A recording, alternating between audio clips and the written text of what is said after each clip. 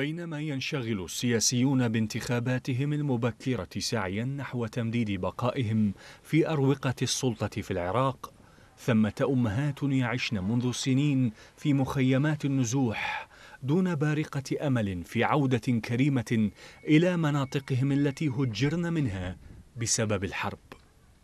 ليس ذلك فحسب فبعضهن ابتلين باعتقال أبنائهن أو أزواجهن ظلما لتتفاقم المعاناة وتعظم المصيبة في بلد يرى سياسيوه أن على أولئك الأمهات والزوجات التوجه نحو صناديق الاقتراع وانتخاب من تسببوا فيما آلت إليه حياتهم من بؤس ومعاناة.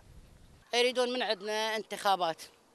إحنا انتخابات ما ننتخب عندنا معتقلين وعندنا مرضى وعندنا معوقين وما حد جاينا ولا حد منبينا طلب خلاص.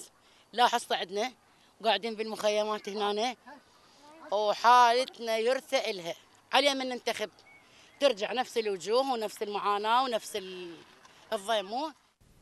تراكم المعاناة والظلم وانعدام الثقة في إجراءات التقاضي ومنظومة العدالة في العراق يدفع المواطنين العراقيين إلى مقاطعة الانتخابات التي يرونها مجرد تدوير لوجوه فاسدة أدمنت السلطة بينما الملايين من المواطنين يرزحون تحت نير ظلم متواصل منذ أكثر من ثمانية عشرة سنة.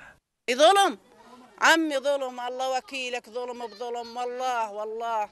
ظلم ظلم كثير مو شوي. كثير والله. مو بس واحد مظلوم بالملايين مظلومين. بالملايين مظلومين. ولنا رحمة. الله يرحم البشر ويرحمنا وهاي ما له غير هاي وليدي. والله كريم. وبحسب مراقبين فإن كلمات العجز واليأس التي تبدو في حديث كثير من العراقيين غالبا ما تخفي تحتها نيران ثورة عارمة قد تشتعل في أي لحظة لتعيد ترتيب المشهد وترسم خريطة عراقية جديدة ترفع من المظلومين أغلال الظلم وتضمن للعراقيين حريتهم وكرامتهم في ظل عدالة طالب بها من قبل متظاهرو ثورة تشرين.